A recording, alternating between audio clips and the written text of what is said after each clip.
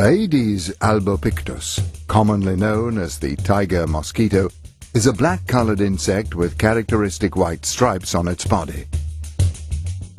Particularly aggressive against human beings, the tiger mosquito is active during daytime, especially in the early morning and late afternoon fresh hours. Tiger mosquito bites are very irritating and they can provoke itchy and even painful red swellings, sometimes causing a great distress. In the tropical regions, the tiger mosquito can be vector of serious diseases. In Emilia-Romagna, a chikungunya outbreak developed in summer 2007. This is a disease characterized by high fever and joint pain, with a benign course. This episode shows that the problem is now present in Europe as well.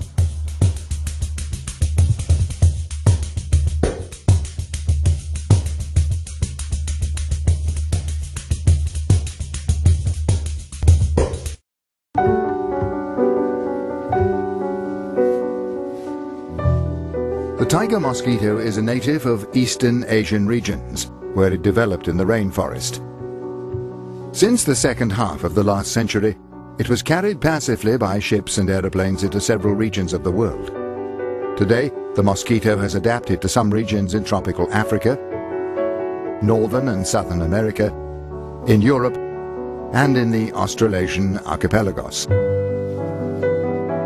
Its ability to colonize different habitats from the original ones depends on its extraordinary biological plasticity, which enables it to realize very efficient adaptation processes.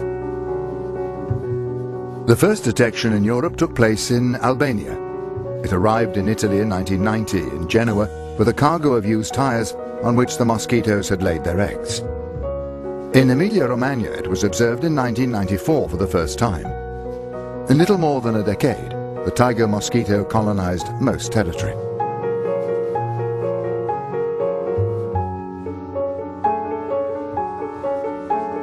The colonization of a territory by tiger mosquito is a gradual process that lasts several years. When the tiger mosquito arrives in a territory, at first it colonizes it in spotted areas. And this means there are few isolated outbreaks casually spread in a non-uniform way. In the advanced stage of colonization, the mosquito spreads in the whole urban territory, and the speed of this process depends on the environmental features. A survey conducted in our area, corresponding to the situation in Emilia-Romagna and reflecting at the same time the general Italian one, highlighted that the tiger mosquito populations were still undergoing an expanding phase. The first three quarters of the tiger mosquito life cycle occur in the water. Puddles with even small quantities of water are necessary for the mosquito to lay its eggs. Also, just above the water surface. Once these eggs are submerged by even a small amount of water, like stagnating water after rainfall, the larval cycle begins, and it ends up with the adult mosquito, which causes great trouble to man. This mosquito pretty well adapted to urban environment, and in order to lay its eggs, it chose development places like flowerpot dishes, manholes, watering cans, bins and bottles left outdoors, as well as children's toys and other objects where stagnant water is to be found. It is important to underline that the tiger mosquito larvae have never been found in rivers, ponds, marshes or ditches. This means that it doesn't colonize such environments. Our towns prove to be particularly favorable environments for the settlement of the tiger mosquito, which by now has well adapted, becoming a proper Italianized mosquito.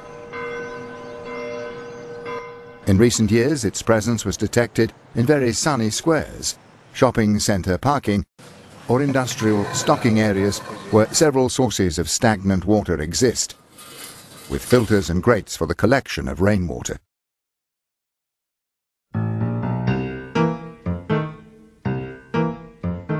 Like all other mosquitoes, the tiger mosquito has a life cycle composed of four stages egg, larva, pupa, and adult.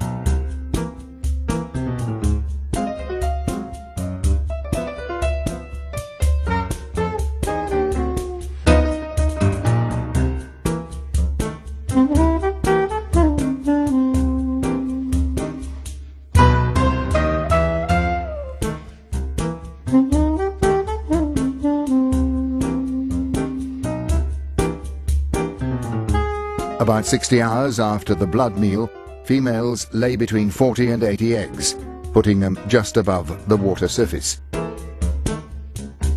In the laboratory, it was observed that every female can lay eggs for seven subsequent cycles, up to a total amount of 350 to 450 eggs each. The eggs of the tiger mosquito are laid separately and have a tapering shape. At the beginning they show a whitish color, but as the hours pass, they darken until they become shiny black. On their surface there are some tubercles that can be observed only under high magnification. The eggs can survive even for long periods thanks to a sophisticated physiological process which allows the mosquito to undergo an inactive life stage in order to overcome winter cold weather and summer drought. The last aquatic stage of the tiger mosquito, the pupal stage, can last between two and four days according to temperature.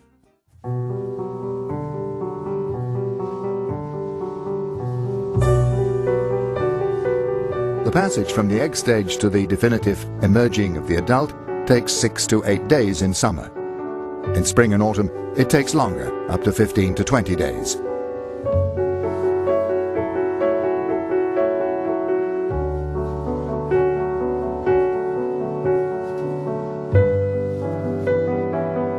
The Ovitrap is a necessary instrument to observe the tiger mosquito, to monitor its populations and consequently to direct the fight campaign. It's a black plastic cylinder with a masonite strip inside, submerged three quarters under the water level. The Ovitrap, laid on the ground in shady, easily accessible places, simulates an optimal site for mosquito to deposit its eggs.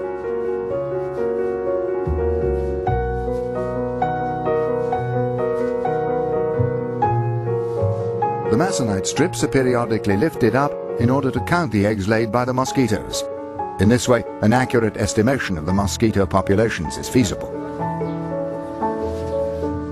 Using a number of ovitraps proportional to the area under surveillance, it is possible to monitor homogeneously the mosquito populations settled in the territory. Using this method, we can keep under control both the areas where the tiger mosquitoes still haven't settled in a definitive way, which are risk areas for colonization, and those areas where its presence is ascertained.